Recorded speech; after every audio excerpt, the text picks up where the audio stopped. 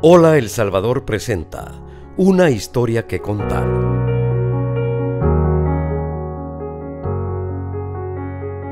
Llegó acá a Los Ángeles como todos los salvadoreños. Sí, como todos los salvadoreños, buscando un sueño, desarrollarse, ver qué hacíamos, porque realmente la vida que teníamos en nuestro país, pues en ese momento no era lo más ideal para cualquiera de nosotros. Claro. Pues veníamos buscando esa nueva vida, este, empezando de nuevo, sin, con muchas ilusiones y sin cinco en el bolsillo. Claro que sí, claro. Eh, ¿Se recuerda el primer trabajo que, que- que- que tuvo?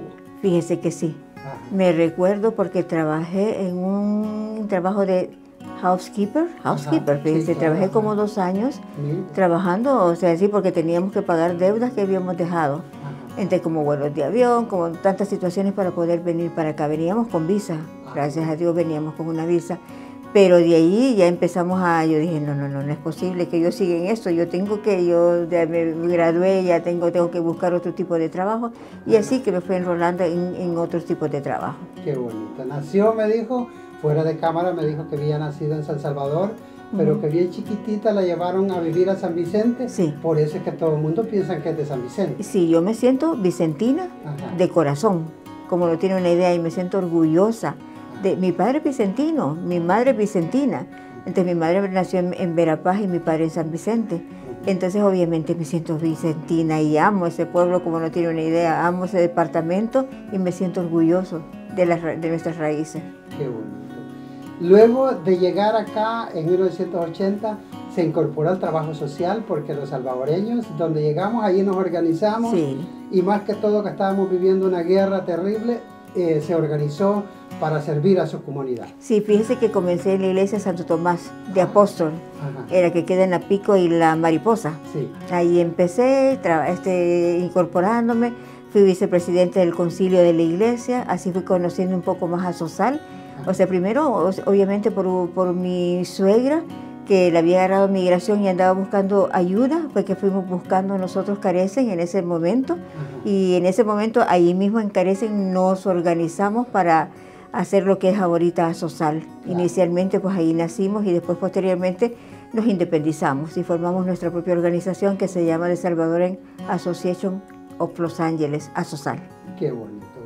Antes de la fundación de, de lo que es Asosal, Teresita, eh, yo recuerdo 1983 cuando el primer desfile de la independencia de Centroamérica fue una marcha de protesta por lo que estaba pasando en nuestros países. Sí, sí, fue una marcha de protesta formada por la izquierda, o sea Sí. que estaba Nicaragua, estaba El Salvador, pero generalmente los salvadoreños eran la gente más organizada en ese sentido de esas marchas Ajá. que comenzaron como una protesta por la situación que sucedía en El Salvador o en Centroamérica. Claro. Y ya, pues, ya después es que empezamos a ver cómo empezamos a, a poner un poquito más de, de alegría y nosotros en 1991 nos incorporamos al Comité de Festejos de Centroamérica. Cuando bueno. estaba Roberto Cacao, estaban tanta gente que ya, que ya no, no, pues hace muchos años, muchos años de que realmente estaba toda esa gente. ¿Qué ha significado Asosal para usted?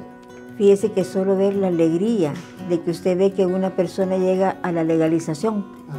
Que después de ser una persona que no tiene documentos y logra llegar a una residencia permanente, ver que por estas oficinas que ven este edificio vienen miles y miles de personas buscando una solución, viendo cómo podrían llegar a, obtener la residencia permanente. Y no digamos nosotros decir, bueno, son 11 millones de, de- de personas que no tienen documentos, más de 11 millones en Estados Unidos. Y es la lucha por llegar a que estas personas lleguen a tener su legalización en Estados Unidos. ¿Cuántos años han pasado? ¿Cuántas décadas han pasado esa gente? Entonces, esa lucha sigue.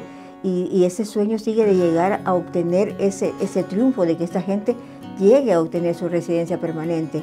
Y lo que es en el área cultural, imagínense mantener, llegar a esa identidad, que tengamos la identidad como salvadoreños, que no perdamos esa identidad. Eso es bonito, cultivando um, con, con bohemia, con literatura, con Sí. danza, con música.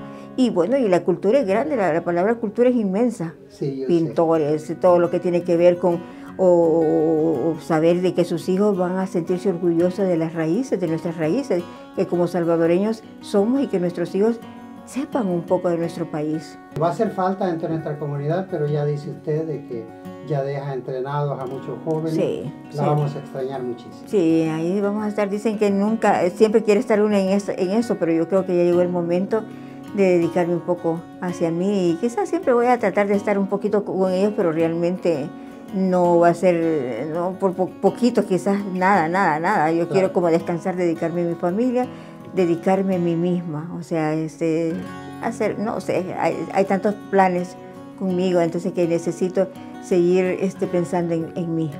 Muchísimas gracias, Teresita, un placer. Como no, muchísimas gracias y los felicito por lo que está haciendo, porque esto, esto, este, estos programas y estas en- entrevistas a personas salvadoreñas es bien bonito para que la gente conozca el trabajo de, de- de salvadoreños en, en Estados Unidos. O sea que eso es, es muy bonito.